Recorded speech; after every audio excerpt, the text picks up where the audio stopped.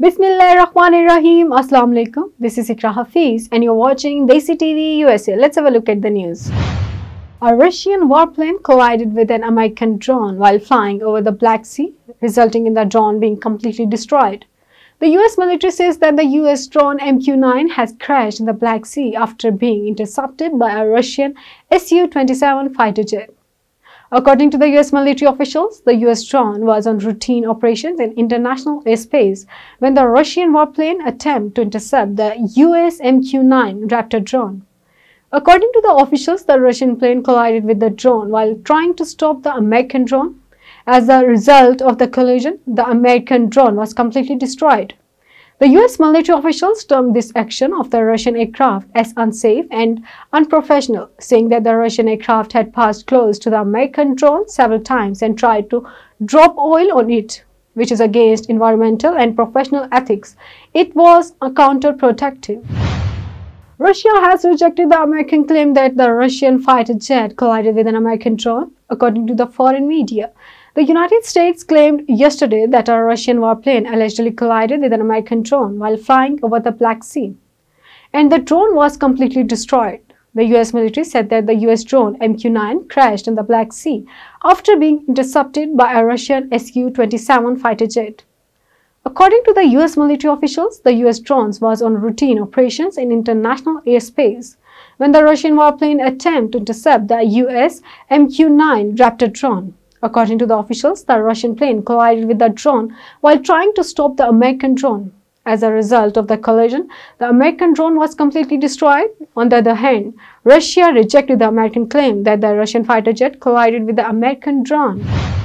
Today, the International Day Against Islamophobia is being celebrated. The purpose of celebrating this day is to try to stop the hatred and acts of violence against the Muslim community around the world.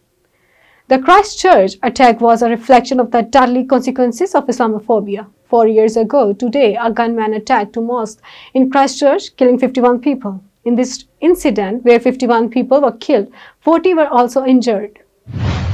Stay with us, we'll come after the break.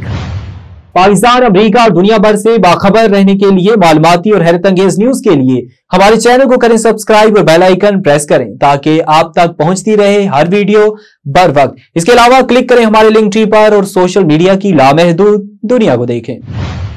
Welcome back from the break In a suicide attack in the capital of Somalia, 11 people including the governor were injured and 5 people were killed. A suicide bomber detonated a car filled with explosives at a key government guest house in Somalia's capital. The blast was so powerful that the windows of the nearby buildings were broken and vehicles parked in the guest house were destroyed. More than 15 important government figures, including the governor, were staying in the guest house. The security personnel of the guest house said that a speeding vehicle did not stop despite the signal, then fired at the tire and punctured the vehicle on which the driver of the car blew up the car. If the vehicle had not been punctured, the suicide bomber had managed to gain further entry. The death toll would have been much higher. Five people were killed in the suicide attack, while 11 people, including the governor, were injured. The Rangers and the police, acting jointly on the basis of intelligence information, arrested three suspects involved in several incidents of robbery and street crimes from the Mauripur Road area of Karachi. According to the spokesperson of Rangers, Muhammad Anwar Bengali, Muhammad Samir Ilyas Riaz and Irfan Bengali have been arrested. From horse possession, one 30 bore pistol and one 9 mm pistol along with ammunition have been recovered.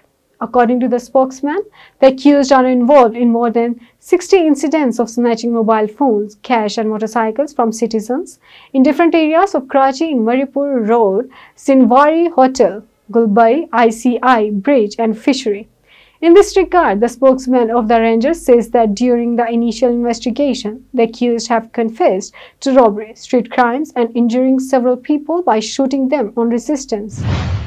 That's all for now. For more updates, keep watching Desi TV USA or visit our website desitvusa.com.